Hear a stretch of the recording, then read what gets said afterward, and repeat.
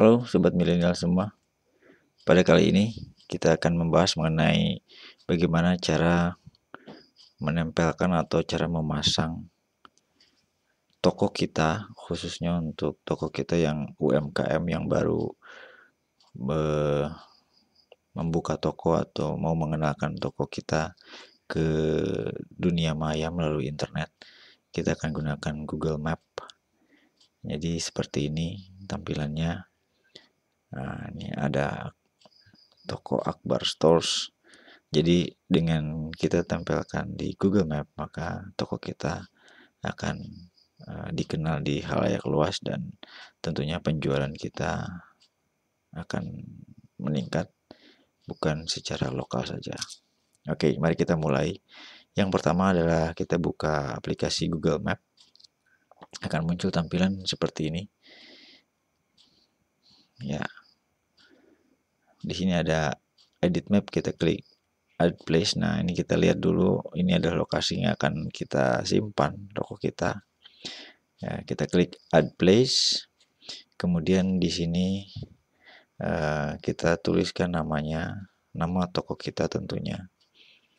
Uh, sesuai dengan apa yang bisnis kita jalankan. Kemudian uh, setelah itu kategori kita isi di sini kita pilih sesuai dengan core bisnis kita. Kebetulan bisnisnya adalah uh, bisnis baju, maka kita tulis di sini pilih women's clothing store. Address required. Nah, ini adalah kita simpan alamat. Bisa kita klik tanda radar di sini. Kalau klik tanda radar akan seperti ini dan kita bisa pindahkan yang tanda merah ini ke mana yang sesuai kita inginkan atau kalau tidak kita langsung ketikkan alamatnya saja yaitu alamat toko kita yang ingin kita uh, kenalkan di Google Map ya oke okay. Sudah muncul tinggal kita pilih kemudian berikutnya kita isi kolom-kolom yang lainnya sesuai dengan uh, informasi yang sebenarnya. Di sini ada hours, di sini ada working hours, artinya toko dibuka uh, hari apa saja. Ya, kita pilih eh, satu-satu uh, di sini Monday, close-nya kita buka centangnya, berarti kita hari Senin buka. Kemudian kita klik add hours.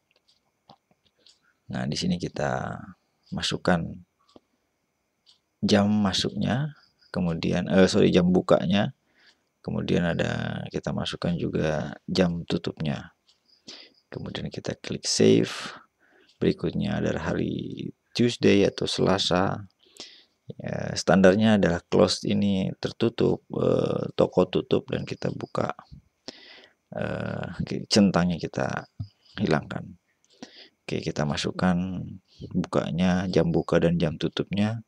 Demikian juga dengan hari-hari yang lainnya. Kita masukkan jam buka dan jam tutupnya. Oke. Okay. Kemudian hari Kamis close-nya kita hilangkan centangnya, jam masuk jam bukanya kita isi, demikian juga jam tutupnya. Kemudian kita save kemudian Friday demikian juga.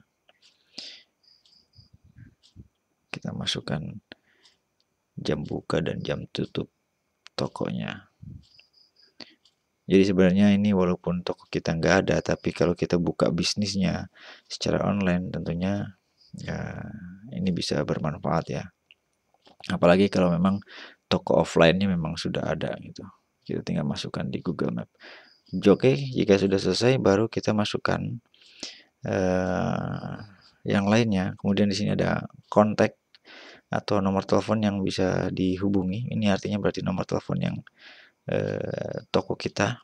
Kemudian jika kita punya website, kita masukkan. Di sini saya masukkan uh, website saya punya oceanoffice.com tentang marketing, tentang bisnis ada di sini semua dan kemudian juga nah ini when did the place open jika kita tidak tahu kita kita centang saja I don't know kita nggak tahu oke okay. kemudian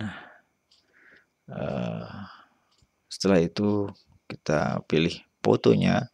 Ini foto harusnya adalah foto-foto yang menampilkan tentang jalan kita uh, tampilan toko depan kita gitu kan.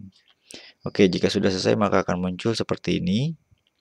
Setelah di save dan eh, kita akan buka eh, email kita, nanti akan ada notifikasi seperti ini. Bahwa eh, toko kita sudah dipublish. Di sini ada your edit has been accepted. Jadi editan Anda sudah diterima oleh Google Map Kemudian jika kita scroll ke bawah ada tulisan do you manage Fitria collection? Jika iya karena kita yang punya toko maka kita klik nah, yes get started. Terlihat di peta sudah lihat toko kita lokasi kita. Nah di sini baru kita klik manage now. Baru setelah ada choose to a way to verify uh, maka akan ada muncul verifikasi melalui nomor telepon yang kita tulis tadi kita masukkan tadi. Oke okay, untuk language uh, standarnya adalah English United Kingdom. Kita pilih Indonesia saja. Kemudian cara verifikasinya kita pilih teks atau bisa juga dengan call di sini kita pilih teks. Kemudian akan masuk uh, ke enter code. Ini kode yang akan dikirim ke melalui SMS ke nomor yang sudah didaftarkan. Jika sudah, maka kita klik verify. Itulah cara mendaftarkan toko kita di Google Map sehingga toko kita bisa dikenal bukan hanya di tingkat lokal tapi juga bisa dikenal di seluruh Indonesia sehingga tentunya kita bisa melakukan penjualan bukan hanya offline namun juga bisa secara online dan para customer atau pelanggan akan mengetahui lokasi toko kita dengan baik. Sampai ketemu. Sampai ketemu di materi berikutnya dan jangan lupa untuk like, subscribe, dan share video ini.